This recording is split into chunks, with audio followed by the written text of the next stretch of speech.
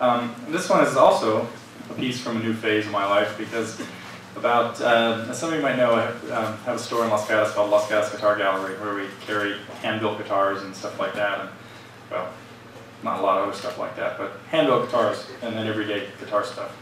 Um, and one day a guitar came into the store that was supposed to go up on the wall for sale, and made the mistake of, oh, I went over to the builder's house, who was supposed to be here. I don't see Ed Claxton here today, but anyway, um, was uh, I went over to his shop and picked it up in Santa Cruz and brought it over, and it was pouring. It was a late Friday afternoon, and I remember thinking, nah, I'm not going to the store now. I'm not going to drop it off in the rain. I'll just take it home and bring it back in the morning when the store opens again.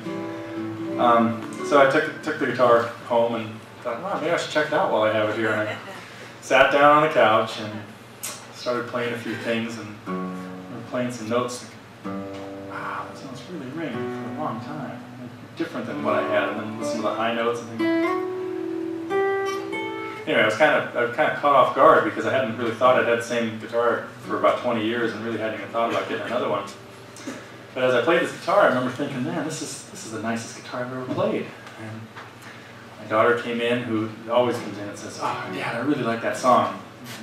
She came in and said, Dad, I really like that guitar. and I can't imagine she was aware enough to know that it wasn't my guitar. Um, so I thanked her and sent her on her way. No. But, um, and as I'm thinking about which student I will tell about this guitar, I know I have three or three or four, two or three at the time that we're all looking for a really nice guitar. Wow, somebody's going to get a really nice guitar. Who, who do I tell first? Whoever I tell first will buy it, and the other guys are, well, they'll never know. And I thought, wow, you know what? What I might have to do is, then I'm going to spend the rest of my life trying to get it back from whoever I let buy it. So as I'm, I'm starting to think about this, Nani, my wife, walks in, and she immediately notices it's not my guitar. That's kind of a little difference between her and Rebecca. But, um, nice. Whose guitar is that? I look up and say, I am not sure. She's very quiet.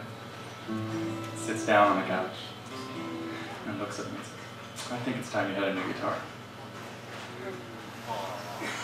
She just left too, I'm sorry, but I can't tell that story when she's here.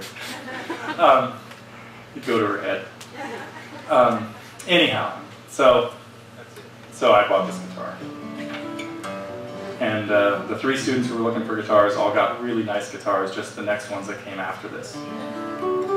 So this was built by a guy in Santa Cruz named Ed Claxton. And uh, it, uh, so the whole point of that story, I'm sure you were wondering, was um, all of a sudden I could do stuff, I had more colors on my palette sort of of things that I could do with songs I was writing. Um, and I really hadn't written any very long, slow, drawn out songs. So the next four or five songs you're going to hear are going to bring you way down. But this one's, uh, so this is the first song I wrote on this guitar. And as I was working on it, I thought, yeah, that really reminds me of a nice lullaby.